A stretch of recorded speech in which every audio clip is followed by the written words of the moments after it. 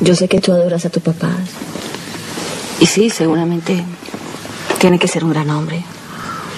Por eso no quiero ser motivo de distanciamiento entre ustedes dos. Mi amor, mejor no hablemos de eso.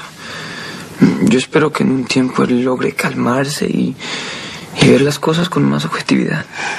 Eso nunca va a suceder mientras él esté con Natalia. Ella me detesta, tú lo sabes. Es increíble que yo todavía sienta cariño por ella. Bueno, deben ser tantos años de amistad que tuvimos.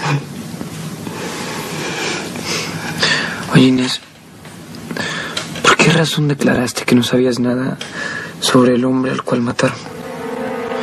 Porque me parece a mí que lo correcto hubiese sido que le dijeras la verdad. Mira, Natalia ya me embarró una vez. Y no voy a permitir que me involucre en sus cosas nuevamente. Ella se metió solita en todo este problema. Ella solita tiene que salir. Va a sonar feo lo que te voy a decir, pero ante todo en esta vida, uno tiene que salvar su pellejo. Todo lo que me estás diciendo, pero eso no significa que esté bien. Yo no voy a arriesgarme, y mucho menos por alguien como Natalia. ¿Y si por culpa se queda encerrada? Yo no dije nada que la perjudicara. Simplemente dije que no sabía nada.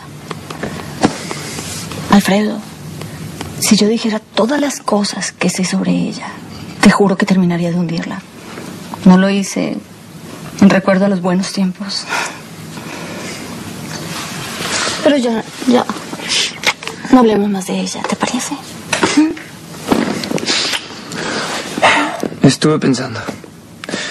Estuve pensando en lo que me ofreciste de venirme a vivir aquí contigo.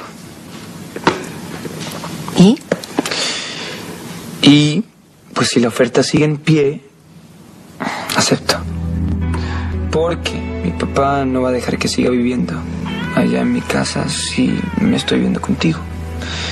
Y no pienso dejar de verte.